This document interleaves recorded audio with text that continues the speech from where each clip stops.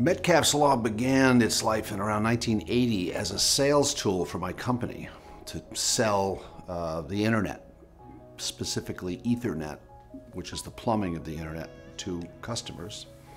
And this slide, which I gave to my six-person sales force, basically said that the, the cost of a network goes up linearly as you put them on, as you put the nodes on the net, but the number of possible connections goes up faster than that. It goes up as the square. So then some years later, in 1995, a man named George Gilder was impressed with this idea and he called it Metcalfe's Law. It basically says that the value of a network goes up as the square of the number of users or attachments.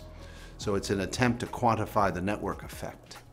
My name is Bob Metcalfe, and I'm professor of innovation and entrepreneurship at the University of Texas at Austin.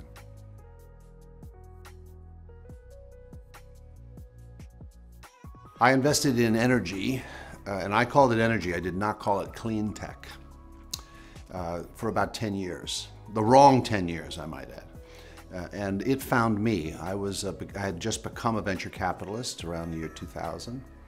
And the president of MIT uh, gave a talk about what she thought the priorities should be going forward, and energy was the top of her list. So being an MIT uh, fanboy and alum, I decided to make that my theme, and I began investing in energy startups. And the reason I didn't call it clean tech is because energy can't just be clean. It has to be cheap.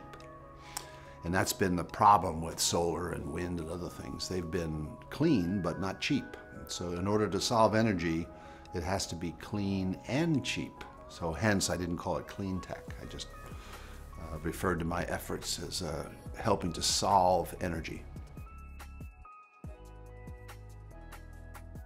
So what, what I have done in my own thinking about energy is to use the internet as a, a model for how we're going to solve energy.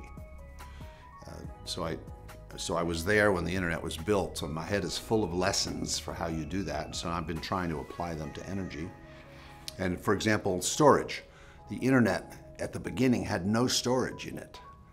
It was the old telephone network, which had no storage. But now it's full of storage. You, uh, terabyte, you have terabytes on your servers and your iPhone. So well, so by analogy, energy, uh, I claim, will be one of the elements of solving energy will be adding storage, energy storage. Now that's turned out to be really true. Anyone in the energy field will tell you that energy storage, well, to, to uh, you know, so that when the sun goes down, you still have energy, and when the wind stops, you still have energy. And uh, and then there's also the randomness of demand. You know, there's peak demand, and then you want to be depleting the storage. And then when there's very little demand, then you want to be recharging the storage. So just like in the internet, uh, storage has um, become part of the solution for solving energy.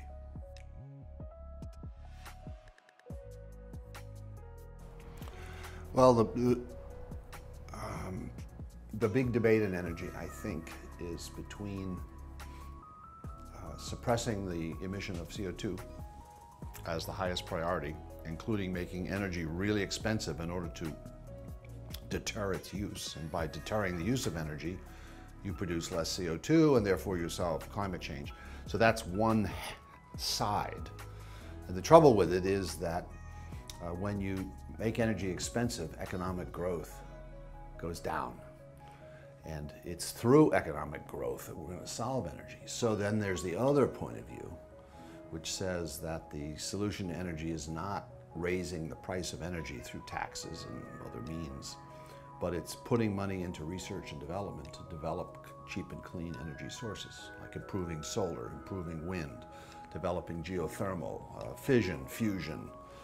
Uh, so those are the, in my uh, oversimplifying, but one side, there's suppress CO2 by making energy expensive, which I think is a dead end.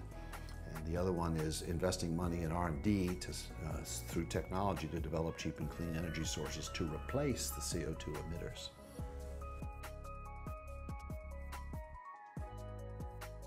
So the, uh, the old model of energy is you create it in centralized power plants and then you distribute it out further and further. Uh, that's an extreme view of the current model. And in my model, energy sources are distributed. And that's an opportunity then to create a network of energy sources and sinks. So I think if, if I leave any, if I leave any mark at all on energy, it will be the uh, enhancing the network version, the network view of energy, that we're exchanging energy among random, uh, uncertain sources and sinks. The purpose of the network is to, is to move the energy around to be sure you have enough of it when you need it from random sources. Storage, storage would be in the network.